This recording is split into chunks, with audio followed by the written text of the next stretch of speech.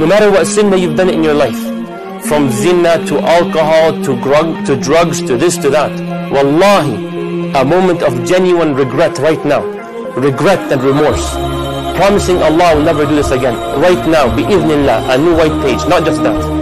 And Allah will substitute your sins to good deeds.